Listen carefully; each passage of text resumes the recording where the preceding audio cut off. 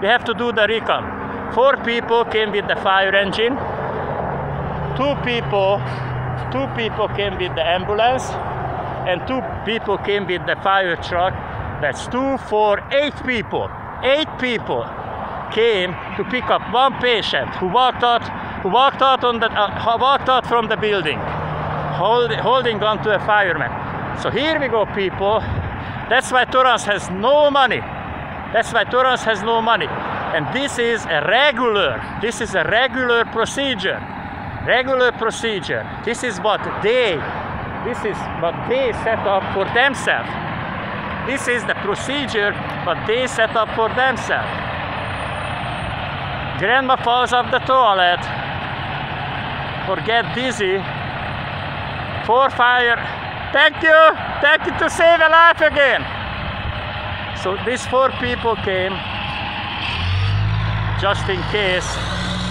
And uh, one of them was guarding one of them was guarding the fire engine because this is a very very bad neighborhood. He did not go in.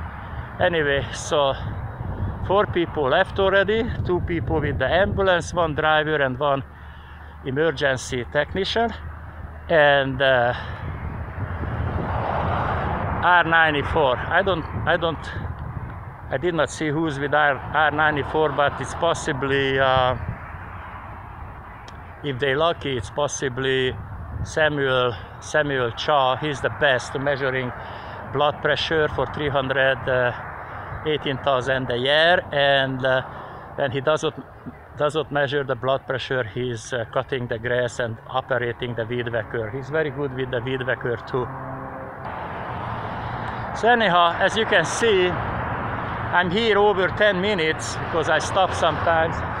And uh, as you can see, the patient walked out of the building on her own, and now they're waiting to stabilize her on the gurney. And uh, they're gonna escort the lady. R94 gonna escort the lady to the hospital. But people, be nice to each other, be kind to each other, and if you have a neighbor in need, who can walk out of a building, please give her a ride to the emergency room. Because I'm here over 10 minutes and she's still sitting in the ambulance. And remember, in a big, big, emer big emergency, when eight, eight very well paid hero shows up after like 15 minutes, you still, you still standing here or sitting in the ambulance. Eight people involved, three vehicle involved, and you still sitting in the ambulance in an emergency situation. Anyhow, let's see if they move fast and then I make a video where they moving out and escorting the ambulance because remember, ambulance needs to be escorted. Anyway, I'm not gonna wait any much longer. As you can see, the situation is when uh, you need eight people to show up and three vehicles and the ambulance and all that, you're still sitting here. You're still sitting here because your life is in danger.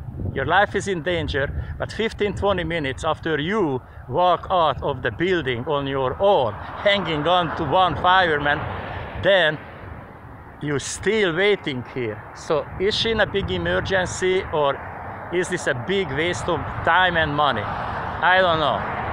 You'll decide. So I think I'm gonna go and live my life because I don't wanna wait uh, five or ten minutes more so they start up the ambulance. Or wait, maybe I maybe I wait and see.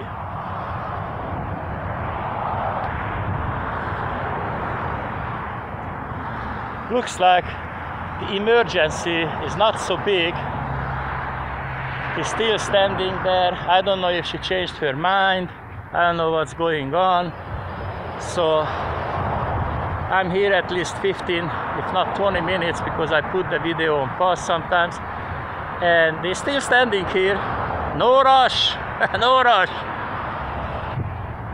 All right, people, so this can take a long time because her life is in danger. That's why they're standing here minutes after minutes. So something came up maybe she got cured. But sometimes, you know, you measure the blood pressure and the vital signs, they get they get cured right away. So anyhow, this is how the Torrance firefighters saving lives day after day after day. And check out the emergency, the dire emergency, and then they go very fast.